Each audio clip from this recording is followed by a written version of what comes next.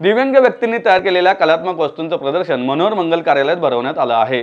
प्रोत्साहन या नावानं या प्रदर्शनाचं आयोजन करण्यात आलं आहे विशेष व्यक्तींना मदत करण्याबरोबरच समाजाच्या मुख्य प्रवाहात आणण्यासाठी व त्यांना स्वावलंबी बनवण्यासाठी प्रोत्साहन प्रदर्शनाचं आयोजन करण्यात आलं आहे. अपंग व्यक्ती त्यांच्यासाठी काम करणाऱ्या संस्था व सामान्य नागरिक यांच्यात परस्पर संवाद आणि सहकार्य निर्माण करण्यासाठी हे प्रदर्शन भरवण्यात आलं आहे. महाराष्ट्रातील विविध भागातील दिव्यांग व्यक्ती आणि संस्था या प्रदर्शनात सहभागी झाल्या आहेत. आकांक्षा रिहॅबिलिटेशन सेंटरच्या अध्यक्षा सविता काळे आणि निवृत्त वरिष्ठ बँक अधिकारी संजय सप्रे यांच्या हस्ते या प्रदर्शनाचं उद्घाटन करण्यात आलं. यंदा या प्रदर्शनात चव्वेचाळीस स्टॉल्स आहेत. बारा संस्था यामध्ये सहभागी झाल्या आहेत. यामध्ये अंध असणारा सागर पाटील इलेक्ट्रॉनिक वस्तू तयार करण्याचे प्रात्यक्षिक सादर करतोय. नांदेड फाटा येथील अंध वृद्धाश्रमातील महिला वायरचे बास्केट मान्यांचे शोपीस तयार करण्याचे प्रात्यक्षिक सादर करणार आहेत. तर अश्विनी पाटील यांच्या अंतर्नाथ क्लिनिकमधील मुले नृत्य तर फिनिक्स स्कूलमधील विद्यार्थिनी झेंबे वादन करणार आहेत. प्रदर्शनात शिर्डी साईबाबा अंध वृद्ध महिलाश्रम Jeevanjyot shelter workshop handicap association Pandharpur Samvad Lonavala तसेच अपंगत्वावर मात करून आकर्षक कलावस्तू तयार करणाऱ्या अठरा ते ऐंशी वयोगटातील बत्तीस जण वैयक्तिकरित्या सहभागी झाले आहेत.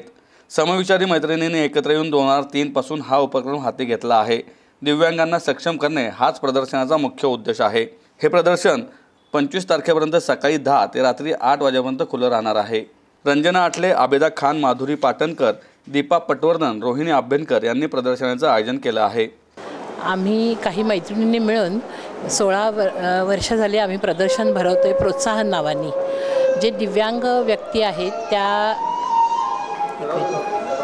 दिव्यांग व्यक्तींनी काही व वस्तू जे बनवतात त्यांच्याकडे आर्ट आहे किंवा त्यांना त्यांच्या पायावर उभं राहण्यासाठी काही गोष्टी शिकवल्या जातात शाळांच्यामधनं. पण पुढे विक्री कशी करावी हे त्यांना कळत नाही किंवा कुठे करावी त्याच्याबद्दलची काहीच माहिती नसते. तर त्यांना प्रोत्साहन देण्यासाठी म्हणून आम्ही ह्या प्रदर्शनाचं सुरुवात केली. आणि हे आत्ता सोळावं प्रदर्शन आहे. यामध्ये ह्यामध्ये आता चव्वेचाळीस लोकांनी भाग घेतलेला आहे. त्याच्यामध्ये बारा संस्था आहेत. बत्तीस लोक वैयक्तिकरित्या त्यांनी भाग घेतला आहे ह्याच्यात भाग घेणाऱ्या लोकांच्यामध्ये अठरा वर्षापासून ऐंशी वर्षापर्यंतचे लोक आहेत की जे त्या वस्तू बनवतात आणि विकतात आपल्या आपल्या. आणि आम्ही त्यांना हे व्यासपीठ निर्माण करून देतो. आणि प्रदर्शनाच्या वेळी स्टेज रिकामं असतं. आम्ही ज्या हॉलमध्ये भरवतो तिथे स्टेज रिकामं असतं. तर त्या स्टेजवर त्यांना काही कॉन्फिडन्स येण्याकरता म्हणून त्यांना त्यांना ज्या कला त्यांच्या सादर करायच्या असतील तर त्या करायला आम्ही त्यांना ती जागा उपलब्ध करून देतो आणि त्यासाठी काही सोय करतो. तर आत्ताही तुम्ही ऐकत असाल की हे काही चालू आहे स्टेजवर कार्यक्रम.